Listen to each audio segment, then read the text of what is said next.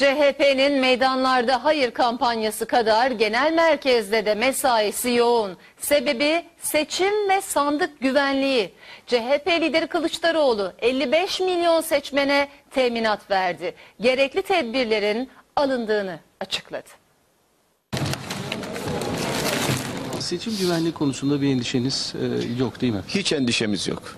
Seçim güvenliğini bütün sandıklarda sağlayacağız. Meydanlarda seçmenini hayıra ikna kadar önemli bir başlık daha var gündeminde Kılıçdaroğlu'nun. Seçim ve sandık güvenliği. Parti genel merkezinde ekibi il ve ilçe teşkilatlarını eğitmek için yoğun mesaide. Video konferansdan bir araya gelip anında vermesi gereken mesajları buradan vermiş olacak. Biz seçim güvenliği de buradan yöneteceğiz. Genel Başkan Yardımcısı Erdal Aksünger seçim ve sandık güvenliği ekibinin başında. Zaman az. İl il ziyaret yerine her akşam genel merkezden il ve ilçe teşkilatlarına bağlanıp akıllardaki soruları yanıtlıyor, yapılacakları anlatıyor. Seçim ne olursa olsun e, iktidarın dediği olur, öbürünün dediği olur, borazanı çalanın dediği olur. Hayır kesinlikle öyle değil.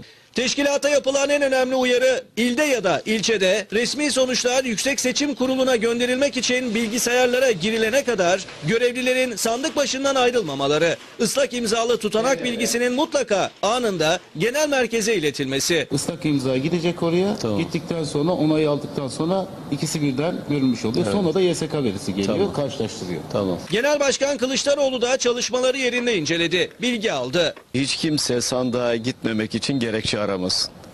Sandıkların bütün güvenliğini sağlayacağız. Yurt içi, dışı 58 milyon seçmene böyle seslendi CHP lideri. Zaman azalıyor, heyecan artıyor.